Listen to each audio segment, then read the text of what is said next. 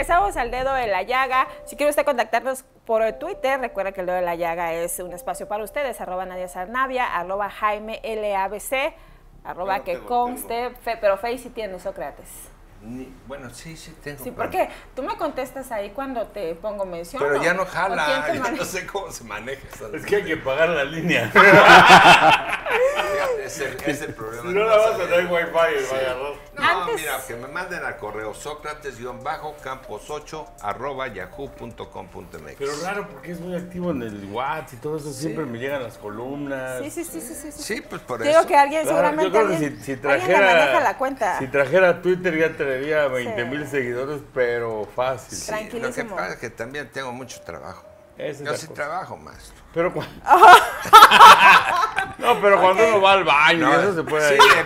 eh, es exactamente. Yo ahí es donde escribo. Ay, qué horror. Digo, a ver, qué bueno que no huele el. Jaime, me gustaría que terminaras nada más el análisis para darle la bienvenida. a Sí, claro, mira, eh, bueno, decía yo que eh, por un lado la guerra sucia, eh, quería nomás puntualizar, ha sido tan importante que cada uno de los candidatos, la mayoría, cuando menos los cuatro que están posicionados, que es Salomón, Alejandro, este, Pepe Toño y, Benjamín, tienen sus gentes dedicadas a la guerra sucia. ¿eh?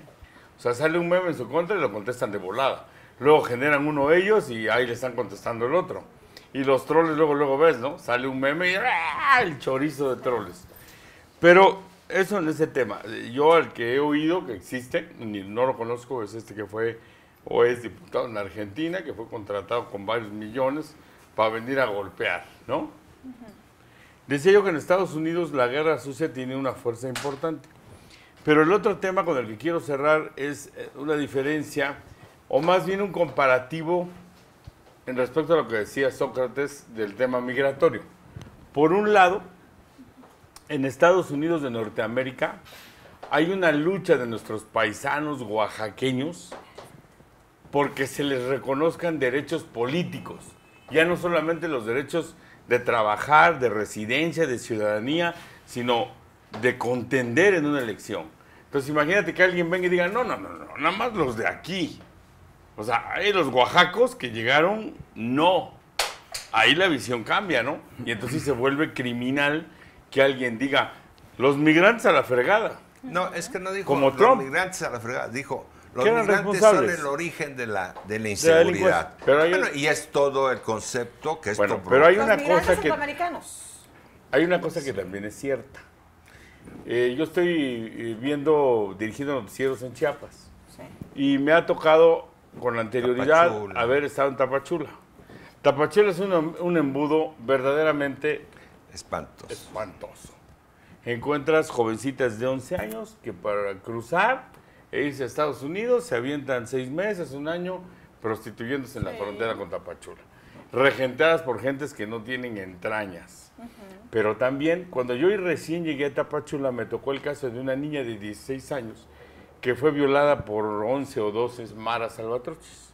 La aventaron a un pozo, le echaron cal, creyeron que estaba muerta y cuando la rescataron, la rescataron con los intestinos por fuera de la violación multitudinaria que le habían hecho.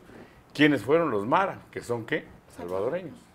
Entonces, es verdad que hay un sector de una delincuencia tremenda. No sé si está llegado hasta el istmo, ¿eh? Ya llegó. Ya llegó. Bueno, pero debió haber sido entonces modulado o regulado en la declaración de alguien que quiere ser gobernador y que dice, hay Que esta además es de migración la zona. y que él es de ahí. ¿Te acuerdas Hay esta que tú- migración. Tú, tenías, tú tuviste un tema en radio acerca de, eh, creo, un alguien que habían secuestrado, algún este, que, que era también centroamericano, y tuviste ahí, no es raro contigo, un roce con eh, Solalín de hace algunos meses. Es inevitable eh, darse cuenta que sí, los indocumentados... Mira, no- Solalinde sin duda es un paladín Sí, del tema migratorio, sí. pero es un protagónico. O sea, me consta que él tiende a lucirse. No es un personaje que digas, yo lucho y acá bajo el perfil porque mi lucha es nada. A lo mejor le sirve ese protagonismo para jalar todo lo bueno que hace. Qué bueno que se dedica a eso. Creo que es un personaje que debe recibir mucho apoyo, pero también de repente se pasa de lanza. E- Esa es una realidad. Sí, ¿no? tiene protagonismo Eh, político. eh, Y protagonismo político y del feo y del malo. En, ¿eh? en el, en el 2006 estuvo muy activo Bueno, Solalinde. bueno. Pero es, coincido con Sócrates en lo desafortunado de la declaración. Porque como no la contextualiza, dijiste, habría que contextualizar. No, No, no, lo habría que ver. No, lo dijo ¿Ah, sí? a lo Así bestia. O sea, los migrantes son el origen de la delincuencia en la zona del Istmo. Lo agarraron en entrevista y soltó la declaración Bueno, como si este, pudiera. La, la familia de Estefan llegó de, De fuera. del Líbano. Y al final migrantes son migrantes, sean centroamericanos, Bueno, sean mexicanos, sean europeos, son ¿eh? migrantes, son migrantes, Sí, claro. son migrantes.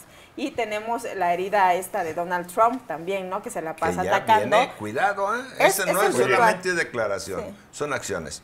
Yo te sugiero que a ver, después hablemos de eso porque Hay que dedicar un terminaste? programa.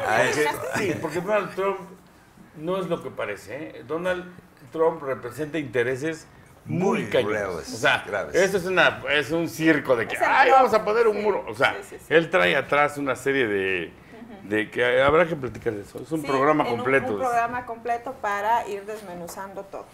Mientras le doy la más cordial bienvenida a Octavio Ruiz. Hay que llamarse Octavio en Jojo para ser candidato, por lo visto.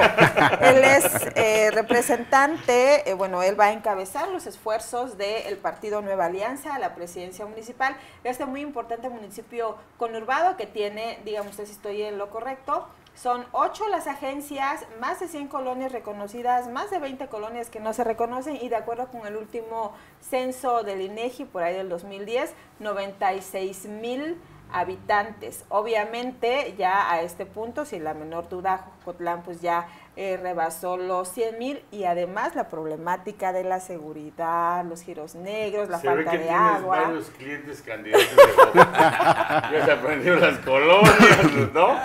Está bien, gracias. Pues la verdad, fíjate, quiero decirle buenas tardes antes que nada, eh, un saludo a tu auditorio. Eh, Jojo pues tiene sus ocho agencias, más de 120 colonias y sobre todo como 20 fraccionamientos, 40.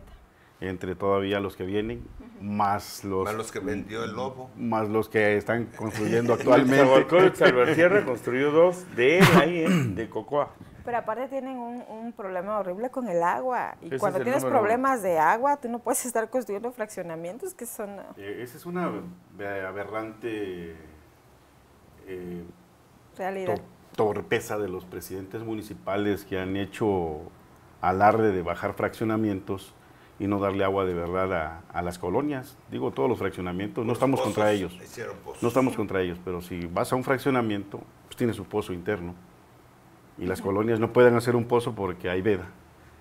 Contradictorio. Y los presidentes municipales pues no te firman para hacer el pozo. Sí, es un esas tema, es eso es un tema federal.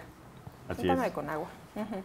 Bueno, pero es Eh, un tema humano. No, no, no, o sea, me refiero a que Es la... un a que- derecho humano. no, Es un- pe- pero la, co- la Conagua es quien te debe dar los permisos para, para Pero hacerlo. la Conagua, ¿dónde está? Y tiene, y tiene que ver, se supone, con el tema de los mantos freáticos, la fregada, ta, ta, ta. Entonces, una mentada A ver. que a los fraccionamientos sí se les permita, capaz que ni permiso piden y que la gente Claro. esté en franco desabasto. Digamos que es el problema número uno.